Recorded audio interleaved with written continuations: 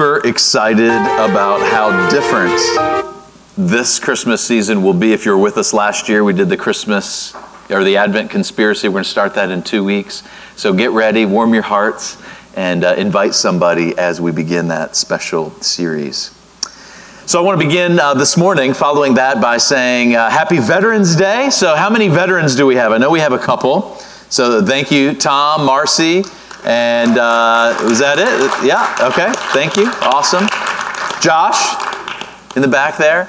Um, if you know a vet, uh, yesterday was officially Veterans Day, and we, we, I mean, today, sorry, today is Veterans Day, and hopefully some of you get off tomorrow to celebrate it tomorrow. I saw some of your faces that are not getting off tomorrow, but at any rate, uh, thank a veteran today if you can to show that I know that Sunday is actually Veterans Day. Now, I didn't serve, but a few years ago I had the opportunity to attend a graduation of a soldier, dear friend of mine, kid who was in our youth group at uh, the Marine graduation at Parris Island, South Carolina. And it was an incredibly humbling experience. Since then, I've had the opportunity to marry a number of, uh, of, of, officers and those who are actively serving. A couple weeks ago, I did a wedding for uh, an, an, officer, and all the, the men, the five men in, in his wedding party, were all dressed in their dress blues, current officers. There were about 40 uh, currently serving officers at that wedding. It was so humbling. Listen to this the mission of Parris Island is this we make Marines by recruiting quality young men and women and transforming them through the foundations of rigorous basic training, our, our shared legacy, and a commitment to our values, preparing them to win our nation's battles in service to the country. Parris Island is a 12 week rigorous training program that culminates with what they call the Crucible. Here's the way the Crucible is described on the Marine website. The final challenge of the 12 week boot camp is known as the Crucible. It is a 54 hour training exercise that validates the physical, mental, and moral training they've endured throughout the recruit training. The recruits are broken down into squads to face the challenges of the Crucible.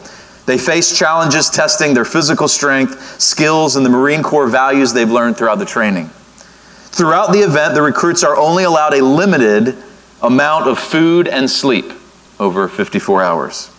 The final stage of the crucible is a nine mile hike from the training grounds to the Iwo Jima flag raising statue at Peatross Parade Deck.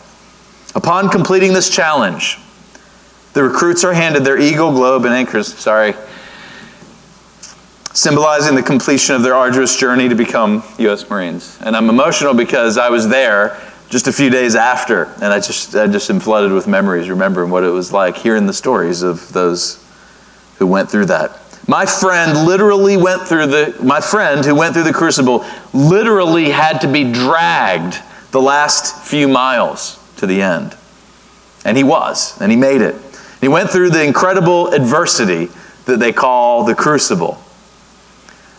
The Marine Corps itself uh, describes the fact that they, they're unashamed in saying they inflict that adversity, or they inflicted that adversity upon him. Why would people do such a thing? Well, because they're preparing those men and women for war. That's why.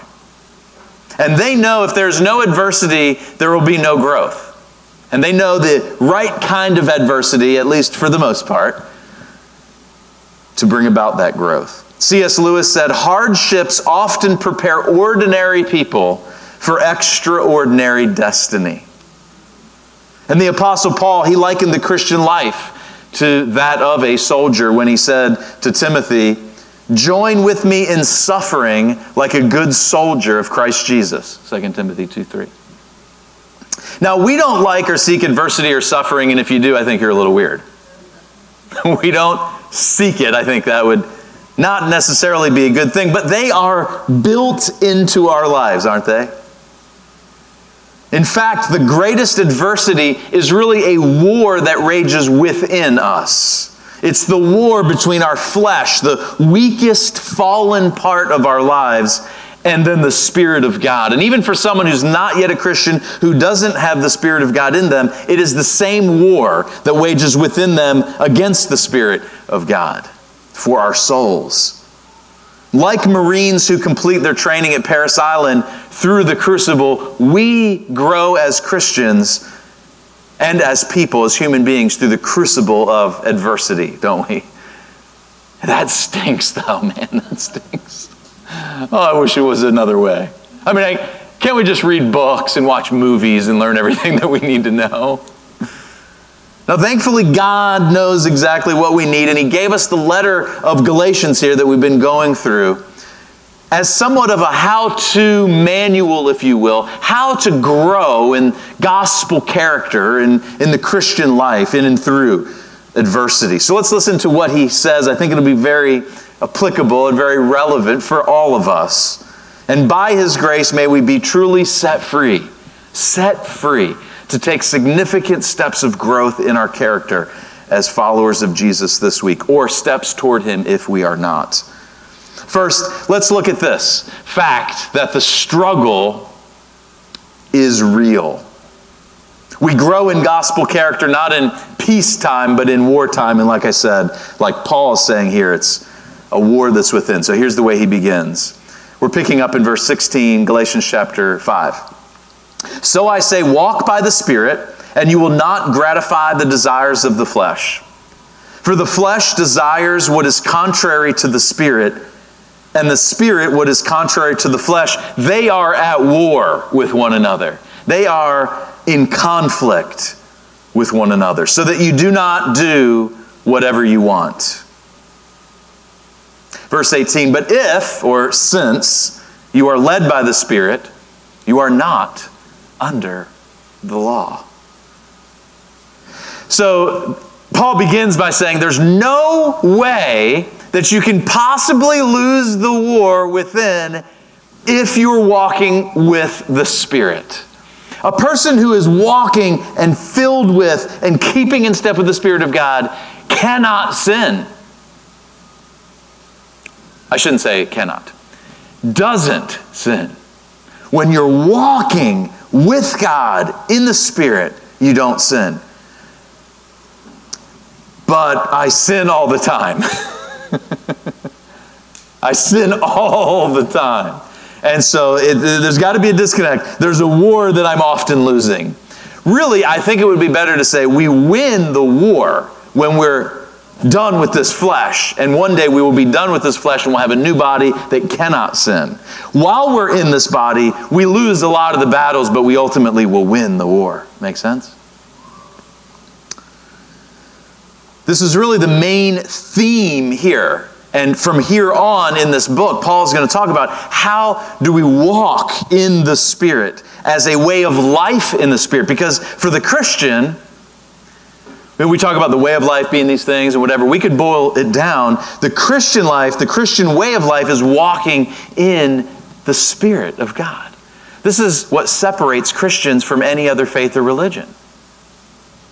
You know, if you're and, and, by the way, this is not to belittle any religion or whatever, but if you're Buddhist, Buddha is not walking with you, nor do they claim to. If you're if you're uh, a Muslim, you, you, Muhammad is not the spirit of Muhammad does not dwell in you. If you're Hindu, there, there's no God that is indwelling in you, who's walking in you, empowering you to do it. But as a Christian, we have the power of the Holy Spirit within us. But the struggle is very real, is it not, friends? The problem of the flesh the flesh and the spirit are at war with one another. But it's the war that sets the context for us to grow. I wish it wasn't so. so, uh, anybody um, get in great shape at one point in your life? For some of us, it was a long time ago. For others of us, it was closer. But anyone get in great shape without pain? Like that's you, you, ever watch like these infomercials, these commercials where it's this device and like just do this three minutes a day and you're gonna look like me and it's like you know Hulk Hogan, you know, or not Hulk Hogan, but Hulk. I just said Hulk Hogan. does anyone know who that is? Um, you know, just some like bodybuilder. Just push this thing like this for three minutes. Just step on this. No sweat needed, and you'll be look like you know whatever. No, there's always pain. I mean, have you ever accomplished anything in life that wasn't accomplished through some sacrifice and pain. Like, think about your education or your career accomplishments, things that you've, you've done all, all by the grace of God. It's usually through some adversity that got you to that point, unless something was just given to you. But to really accomplish something. Now, football season's only one more week, okay? For my kids. So uh, that's going to come to an end. Maybe another couple weeks, you'll hear something, and then it's over. And next Saturday, both of my sons are playing in their Super Bowl, which is awesome. And they've been working, yeah, it's awesome. I mean, it's, it's great. They, they've been, you know, working really, really hard. And mom and dad have been driving really, really hard. And, you know, in sports, just in general, like it, we're talking about in life, but in sports, like you're sacrificing so much to win. And it, it's through the struggle. Talking to one a close friend of mine, he spoke at Elijah's 13th birthday, been a, been a kind of a mentor of his, and is now mentoring Ephraim as a middle linebacker. And, um, and he said, You know, you win or you learn. Like when you lose, or when you fail at something at life, when you give in to temptation, when you even when you give in to sin, you either you either win that battle or you learn from it. You grow through it. It's so wise. It's such a wise statement. I, from now on, I say, I mean, I kind of say it like a, as if I own that statement now. I mean, I used to think, I still think, you know, if you just repeat something that you heard three times, it's yours.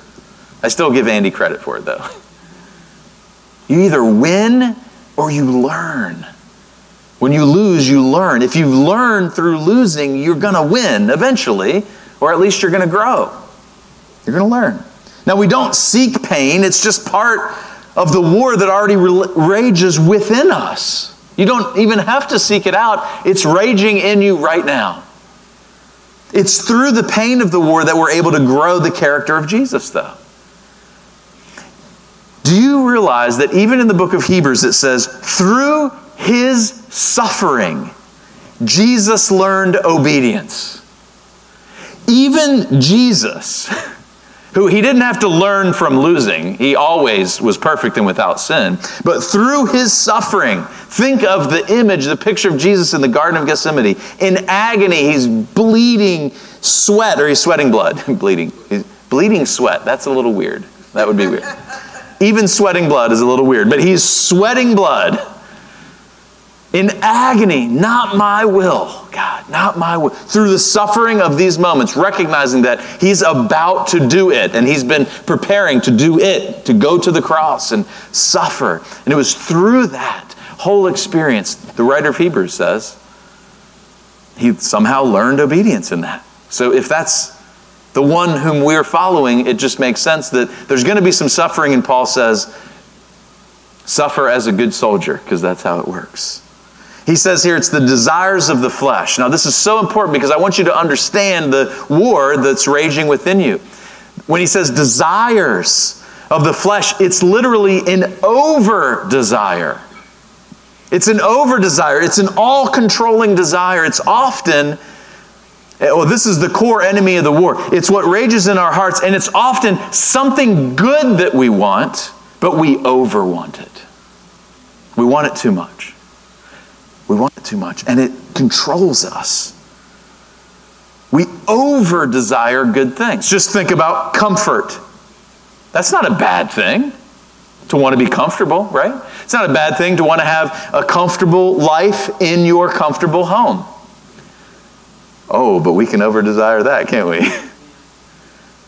I think there are really three core areas. First, money isn't wrong. I think maybe four and just put comfort on there, right? But money is certainly not wrong. We need some money to get by, right? We need some money to pay our bills. It's essential. But the love of money is the root of evil, all kinds of evil. So it's good, but if you if you over want money, just think about it in your own life. I'm sure, like me, you've gone through seasons in your life where you've been fixated on, I need to get a raise or I just need more money. And then you went through that whole experience and you got more and you're like, oh, that didn't make it all better. And then we can continue to go through that cycle throughout life. You know, and I'm telling you, like, I struggle. I, I, I don't want to say I'm a poor pastor. Some of y'all are looking at me right now, and I got some new shoes. Man, I got some new shoes. so I got to be careful. Like, see you're like, oh, ain't no poor pastor. You got some nice new leather shoes there. Now, so see, here's here's here's my deal. I'm gonna give away one of my secrets. See, what I do is I see I, I got to dress up when I do weddings, so I got to have some nice clothes. And so what I do is I go on clearance at Joseph A. Bank and I get me some nice clothes, real cheap, love it. And you buy enough and you get these coupons. So I got this coupon that expired last week and I had to use it. It was $50 coupon. So these shoes, these shoes were $100 and they were half off. I got them for $250. Right there, $2.50. Oh, no, no, no, no, no, no. Come on. That's another pastor somewhere. That ain't me. yeah, so check out my $2.50 shoes. I had to buy something, and I was like, I can't, this is a waste of $50 if I don't buy something. I just couldn't find something that I really needed, and so I kind of could use some another pair of shoes. So, anyway. The point being this like, man, sometimes I think, man, just a little more, and, and, then, and then we'll be you know, and then you get just a little more. It's just a little more, then we'll then we'll be a little more comfortable, and then we'll be able to do the, you know. And it's not all bad, but to over want a little more is then to fall into the flesh. Sex is one of my favorite topics. It's great. It's the pregnant pause. pregnant sex. Anyway, it does go together, but it's great in marriage. It will tear your life apart outside of marriage. And many of us have experienced that. Devastate people's lives and families outside of marriage. I, I, mean, we don't have to, you just think about your own life, I'm sure. You're, I'm sure every one of us in this room has been affected in one way or another by this wonderful gift of sex that happened outside of marriage, whether it was a parent or someone in your family or you yourself or whatever, your best friend. This, we could go on and on and on and on and on, couldn't we? It's great, man. It's great in the context of marriage. Authority is a gift of God to our world. You ever been around someone who over wants authority? I mean, I've struggled with over wanting it myself. When authority is not humbly submitted to God, it can then be used to abuse and even exploit others. I just read this wonderful book, and I hope eh, what I would like to do in the next year and even years ahead is I would love to go through. Actually, I was telling Drew this a couple weeks ago. I would love to go through this book with those of you who are in the marketplace, which is many of you. It's called Strong and Weak. Oh, it's awesome. It's changing my paradigm in how I look at authority and suffering. Because what we are vulnerability. What we need is a balanced. I think Andy is right. Andy Crouch wrote the book. I think he's right in that all people need a certain amount of authority, not a position of authority. But all people have a certain amount of authority they need and vulnerability. And when we have the right authority and vulnerability, we can lead well. I'm not talking about a position of leadership. So think about the greatest leaders that you know. You probably would describe them as people who were vulnerable appropriately, right? The greatest leaders in our lives aren't, you know, powerful dictators. They may have done, quote, you know, great things in terms of, you know, even for evil. But I think of some of the great mentors of my life, the leaders that I like to read about. They were strong, they stewarded their leadership well, humbly, but they were appropriately vulnerable and they recognized how vulnerable they were.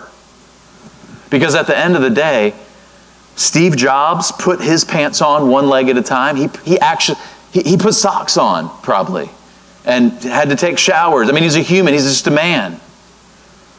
Some of my, you know, my sports mentor, not mentors, uh, my, you know, the people that I, I wish I could meet that person. Like they wake up and they breathe air and they have to eat and put on clothes and they're just people, right? So the greatest leaders recognize the place of authority and vulnerability and, and, and in that place, what Andy says is the place of flourishing and all God's desire for all human beings is to experience flourishing. That's what this church is all about. restoration. When someone is restored to God, restored to community, restored to mission, then they're able to begin the process of flourishing. And don't I, I, long, I long for that for us, but I long that we are all people who our impact in our community, our impact in our workplace results in other people flourishing. Just think of especially those who are vulnerable and suffering. And just imagine what will happen if and, and when we hear stories of, of, of people who are even be, at one point in time were being exploited and they're, and they're unleashed and empowered and flourish. It's just amazing. And that's what God does. Gosh, just um, we got to move in back into the sermon, but uh, story after story after story. What, what did Jesus do when he touched people? Who did he go to? He went to the most vulnerable people. And what did he do when he engaged those people? Think about the woman caught in adultery. Just, she was ready to die. She was moments from being stoned to death because of what she got caught doing in that day. And Jesus stepped in, and what did he do? He said to the, those perpetrators, Okay, whoever's not guilty, uh, go ahead and throw the first stone. They all walked away, and he says, Hey, you're, go flourish. Wow. Our communities need that desperately. Okay, so the desires of the flesh are often these over desires, and they're warring within us. The struggle is real. I love what pastor and author David Powlison says about this. He says this quote, If idolatry is the characteristic and summary Old Testament word for our drift from God, then desires is the characteristic and summary New Testament word for the same drift. The New Testament merges the concept of idolatry and the concept of inordinate life ruling desires for lust, craving, yearning, and greedy demand. Ephesians 5, Colossians 3 are great resources, or great uh, uh, text for that. So the struggle is real, and the old way of doing things is not powerful enough to win the war within us. The old way is not going to work. He says in verse 18, But if or since you are led by the Spirit, you are not under the law. He didn't say, notice what Paul didn't say here. He didn't say, since you are led by the Spirit, you're not under the what? What are we talking about here? War between what? The flesh and the spirit. So he says, he says, he didn't say, since you are led by the Spirit, you're no longer under the flesh.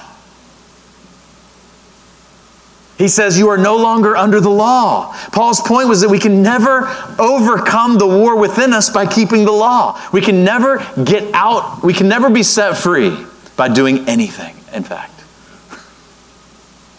Isn't this good news? Your neighbor, yourself, your neighbor, your coworker, the people that you know in your life cannot be set free from what they are currently enslaved to by doing anything. But other than being set free by the grace of God. I mean, this message is berserk. It's just crazy good news. Now, look at, uh, we got to drill down so that we understand the nature of what we're talking about. It's important that we understand the nature of what we're talking about so that we really recognize that there isn't anything we can do to unearth this. So, look, he talks about, I, I'm just calling this the personality of the flesh. This is what the flesh produces. There are four destructive attitudes. He says the acts of the flesh are obvious. and just as we read through this, it's obvious why they're obvious.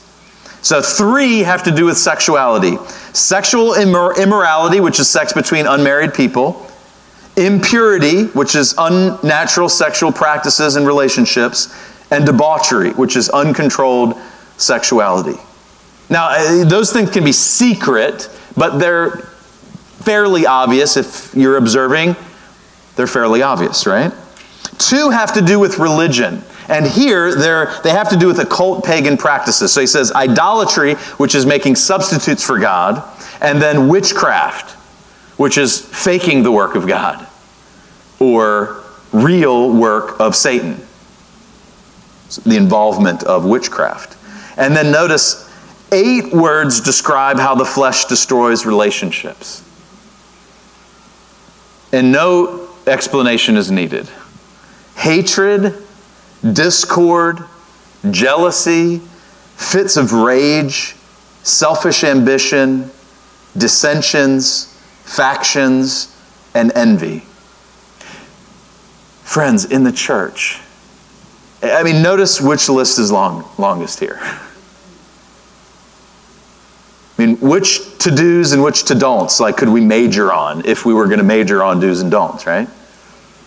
There's nothing that there, there's nothing more attractive on one hand than a unified church is filled with true love and grace that gets extended to us when we really choose the flesh. Because sometimes we just choose the flesh. Between each other. Like we're talking to each other. We get upset. We, we, we have a fit of rage or anger or envy or jealousy or something like that. And we choose that instead of the spirit. We do it all the time essentially. And, and, and, and instead of saying ah, i don't want anything to do with that we say hey man i love, I love you because god loves me And if God can love me and, and restore me, then He can do that with you too. And so I'm just going to be extra patient. And there's a power that allows us to do that that we're going to look at in just a minute. So those are the things that describe what tears relationships, relationships apart. And then two words describe substance abuse, drunkenness and orgies and the like, he said. He's not talking about a sexual orgy. He's talking about a drinking orgy. And just think like a binge drinking party, which uh, maybe you've heard of those in college or sometime or whatever, but you probably know what that is like, right? Now, for those who live like this, Paul gives a very strong warning. He says, I warn you, as I did before, that those who live like this will not inherit the kingdom of God. He is not saying, Christian, if you fall into this, you're going to lose your salvation. He's clearly, he's not talking about that. Paul simply stated what the family of the world does in contrast to what the family of God does. Here's what the family of the world is characterized by, and that those people who practice these things don't inherit the kingdom of God. Choose Jesus and you do. Just contrasting, making a clear line of demarcation. The crucible of the war is within, between flesh and Holy Spirit. For those of us who trust Jesus, the Holy Spirit dwells within us. And now Paul shows us that it is the Holy Spirit that is actually the fuel for growing gospel character in our lives, the, the character of Jesus. The fuel for growing gospel character is not, king of the obvious, our flesh. It's not our great effort. It's not our works. It's not our religious activity. It is not our moralism that is going to produce the fruit that only comes supernaturally through the Holy Spirit. Like that just makes sense, right? Hopefully. Notice the personality. So we looked at the personality of the flesh. Now look at the personality of the Spirit. He starts here in verse 22. Hopefully, this puts a smile on someone's face. Just when you hear these words, as, as opposed to words like factions and envy and strife. He says, first, love. Love, sacrificially giving to others for their good, not what they can do in return. Love, joy, pure delight in God. It's a fruit of the Spirit. Peace, confident rest in wisdom, and eh, confident rest in the sovereignty of God. God's in control, so I can have peace. It's the peace, Paul says, that passes all understanding. It's not peace because your circumstances all make sense. How could it be when he's talking about suffering? Love, joy, peace, forbearance or patience, facing conflict without blowing up or tapping out. That one kind of hurts. Kindness, practically serving others with no ulterior motive. Goodness. Goodness, when you think of good, what's the opposite of good? Like, how do we define good? Good is God's perful, perful, perfection, okay? The center of who God is is He's good. In other words, He's holy. The only way we know what's wrong is by knowing what's right, in other words. So, someone who's characterized by goodness is characterized by integrity. Faithfulness, the, reliable, right? Gentleness, which is humble or self forgetful. And self control, someone who pursues the important over the urgent. Now, this is a singular fruit. These are not the fruits of the Spirit. He says this is the fruit of the Spirit.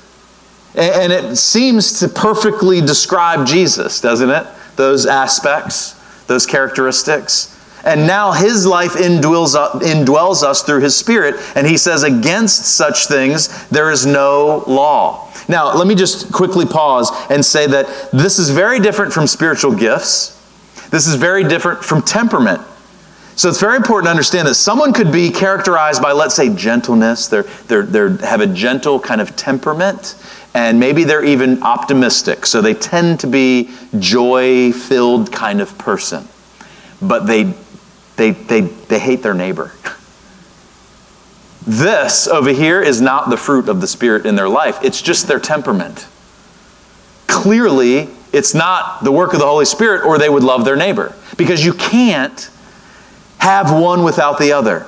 Someone who's characterized by the fruit of the Spirit is characterized by all of it growing together. When we're characterized by the work of the Holy Spirit, it's not even something that you necessarily learn. It's just he's when now I, that's kind of contradicting what I'm about to say. We do we do learn how to keep in step with the Spirit, but the fruit of the Spirit comes out all at once. Not all perfectly, not all put together, but as we grow, we, we, we grow a little bit more in, in all of those areas because it's the life of Jesus that's within us. He says, verse 23, the law is not against things such as these. He kind of ends this little section here. The Spirit is actually leading us to fulfill the law. What is the perfect fulfillment of the law? Paul already said it in this passage, in this chapter. He said in verse 14, For the entire law is fulfilled in keeping one command, which is, Thank you, Debbie, the, what is the core commandment that Jesus wants all of us to fulfill? We're really excited about loving our neighbor as ourselves. like, this is it. Again, the law is not against such things as Jesus, in whom is, he is commanding us to do one thing love our neighbor as ourselves. That is the fulfillment of the law, right? Now, notice how we grow the fruit of the Spirit, the character of Jesus in our lives. He says in verse 24, those who belong to Christ Jesus. Isn't that beautiful? Those who belong. So it's possible to belong somewhere else.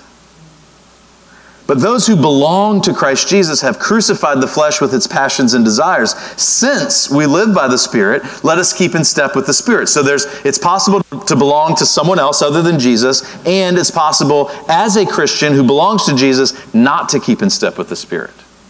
That's our struggle. That's the war. So, first, three things, okay? Three three how-tos. How do we how do we do this? Number 1, remember to whom you belong. I've been practicing this week, guys. This is so simple. Let me tell you exactly how this happened to me several times.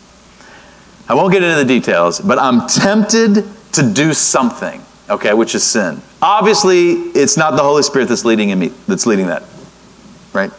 So I'm being tempted to give in to something that in a moment I wanted. Not a bad thing, but I was over wanting something. And I, I it's not appropriate to get into the details of it. But then I came back to this because I've been working on this and I've been thinking about it. And then I thought, now, wait a minute. I and I'm praying this even out loud God, I belong to you. If I belong to you, this doesn't reflect someone who belongs to you. Thank you. In that moment, I had the power. And I just, and I and completely walked away from it. I was, thank you, God, that's awesome. Man, I belong to you. Now, who's getting the credit? God is getting the glory. Because I'm not like, ooh, yeah, I'm so strong. I just overcame. No, I was like, God, thank you. I belong to you. Thank you. I love how Tim Keller summarizes this. I know I'm over quoting Tim Keller, but I promise in the next sermon series I won't. But he's just so influential in this book and in the gospel. He said, quote, our approval and welcome from the Father rests not on our character or actions, but on His. I'm His. And when I remember that I'm His, that's the first step, I think, to walking with the Spirit. Wait, God, I'm yours.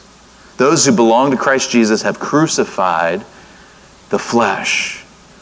By God's grace, we are set free. So, the second piece of that, not only remember to whom you belong, but remember you belong to Jesus so that you have crucified the flesh with its passions and desires. So, in this moment, I'm like, okay, God, I really want this, but I'm yours. And wait a minute. Galatians 2:20, right? I have been crucified with Christ, and it's no longer I who live, but Christ lives in me. God, this isn't what you do. This is, you know, I mean, I didn't get all into that, but that was just all the power that I needed in that moment. Wow, thank you, God. Everything was completed on the cross. For me, it was crucified, and it's true of every Christian. If you are a Christian, if you put your faith in Jesus, you can say, I am crucified with Christ. All those wicked passions that I used to have were nailed to the cross and forgiven. And now I can be set free. It was done, the weight was lifted. Have you ever, maybe in your own testimony, you had all the sin and you're way down, and this is, this is my story, way down. I remember the day, I remember the moment I came to this altar and I gave my life to Jesus. He called me, and it was just like, I'm free. I'm free. So now, when I, when I give in to the war, it's just that I'm acting like the old Ed, but I'm the new Ed. The new Ed can walk like the old Ed, but I'm, that's not who I am. I'm the new Ed, though, now. It's true. We, we, we need, though, to experience that truth on a daily basis, which is the way Paul ends this chapter. Aren't you glad? So, third and finally, remember to keep in step with the Spirit. He says, Since we live by the Spirit, let us keep in step with the Spirit. It's fitting. Since you're in this family, act like it. Choys, you know, in our family, I say this a lot, but man, Choys don't do that. You know, I try to say that to my kids as often as I can. Wait, no, you're a Choy, and we're a Christian family, and that's why we don't, we don't do that. We do things a little bit differently around here. This is the secret sauce of growing the character of Jesus in our lives. Not being a Choy, but while keeping in step with the Spirit. Now, notice that this is a positive process, unlike many Christians. You ever met some grouchy Christians? Ugh, like, you're welcome here, but you ain't going to be comfortable here. Ain't no grouchy, this ain't no grouchy group of Christians. We tend to, we, everyone can be a little grouchy sometimes, but Paul didn't give a list of do's and don'ts. The Holy Spirit is a living person, an active member of the Trinitarian Godhead, and we must learn, just like a relationship, we must learn to be in relationship with Him. Since you live by the Spirit, so I have this relationship, learn to keep in step with the Spirit. It's a relationship. I have to learn how do I keep in step with what He is doing within me. He's constantly leading me. He's constantly speaking to me, but I don't always I don't always listen. Like a husband sometimes doesn't my wife's talking, she's communicating, she's saying stuff, but I'm not really sure, like that I'm listening. I hear the words, but I'm not really listening. Your wife or husband or a significant other or somebody in your life may have been saying something over and over and you think you get it, but you didn't get it. I'm sure that's it. We can go on and on. We don't have time for all that. But this is, this is what the relationship with the Holy Spirit is like. But I think it's even harder because there's no audible knock. It's not your wife or your husband standing in the doorway when you get home. It's a still small voice, or it's the words that are written here that I, I have to unpack it in order to hear it. It takes time. It's a two way communicating and listening, and it takes time. And it, and it takes time. and this whole thing about walking with God takes time. This whole year, the theme of my year has been slowing down. It's a struggle. Big time. Life around here doesn't go real well with slowing down. Life with four kids and yada, yada, yada. It's probably your story too to some degree. But it takes time. I got to slow down. I got to make time. If I, don't, if I didn't make time for Laura when we first started dating, she would have been asked to go out by some other guy, and I would have been too slow. The Spirit is continually leading and guiding us, primarily to glorify Jesus in everything we, that we do. All right, so the YBH. It's vital. We got to make this super practical. Believe it or not, keeping in step with the Spirit doesn't just come naturally because you're a Christian. Those of us who are. We don't just get it when we start following Jesus. It's actually a learned relational skill, I believe. Keeping in step with the Holy Spirit, walking with the Holy Spirit is a learned relational skill. And it involves communicating and listening, just like every relationship. If we were created in the image of God, and this is what all humans are created for community, then we have the example in a human level of what we need in a divine level. We need communication and we need listening. So here are three practices as we wrap up to help us as we grow the fruit of Spirit in our lives. Number one, listen to God's Word. We say it a lot. Rather than just letting your Bible fall open, okay, today, okay. 2 Samuel 14, God speak to me. I mean, that's better than nothing. But start somewhere that makes sense to where you are. There are lots of great plans. We talk about U YouVersion a lot. We've been using a great devotional tool in our community groups that's been awesome. Unfortunately, it's only 40 days. So, you know, some of you already ended it. We're, our group's a little bit a little bit later uh, since we stretched it out. And so I'm still really enjoying that. But we've got a simple plan that you can follow for the five weeks of Advent, starting in two weeks. So this is, you can jump ahead if you want. If you don't have anything right now, you can go ahead and just start and then just read it twice. But they're, they're, these are on the back. So I just printed this out. Advent reading list. Got a little scripture there for every day, for each day of Advent. So this would be awesome to follow. Starting Sunday, my wife's birthday, November 25th. Yeah, in light of uh, Laura's birthday, we're going to start Advent that day. Uh, isn't that nice? You know, that's thoughtful, right? So she's not in here, so she didn't hear that. But um, so Advent list there, and then on the back there's even some weekly devotional, you know, ideas and thoughts right there. So this could help you through Advent and, and really be a way to help you apply the Advent conspiracy. There's lots of other tools, and just come, come talk to me or uh, one of the pastors, someone you know who reads the Bible regularly, and do it together. Even that's even better. Secondly, read prayerfully. So read intentionally, read prayerfully. Slow down. Take a take a quiet minute to take a deep breath. Lord, speak to me after you're done reading, take a minute and take a deep breath and say, Lord, keep speaking to me. And then read practically. And I, we're already out of time, but I loved in, in the materials that we've been going through 40 days in the Word, I loved the Space Pets uh, uh, acronym. And so if space pet, no, no, that helps me. Don't you don't no, don't judge me. I love that because it's always asking how what you're reading applies to your life. And so Space Pets is sin to confess, promise to claim, attitude to change, command to obey, example to follow, prayer to prayer, uh, error to avoid, truth to believe, something praise God. I know that's long, it's kind of a long list, but I like going through that as I'm reading scripture and I can ask, man, is there something in this that is in one of these categories that, that God's speaking to me about? Sometimes I just need that. Debbie does not need that. no, I can't remember it either.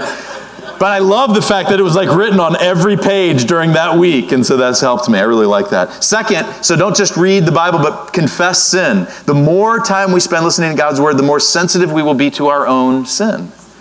And recognize the Spirit leading us to confession, specifically when our hearts make things or experiences idols, which is where what our hearts are good at doing. And then finally, listen to God's people. We were created for community, authentic, loving community, which uh, most of you have said that's why you like being here at Restoration Church because we were you were accepted. You're part of a family. Uh, you you you were impacted by the community here, where we share our joy and pain, and we practice sharing. We practice listening. We share and listen to God, and we let we share and listen to others as God speaks to us through that. Right. So listen to God's word, confess sin, listen to God's people. Three really practical ways that we can grow in keeping in step with the Spirit. May God help us this week to unleash us. Let's close in prayer. We're going to sing a song and uh, join in what God is saying to us. We've heard God's word here this morning.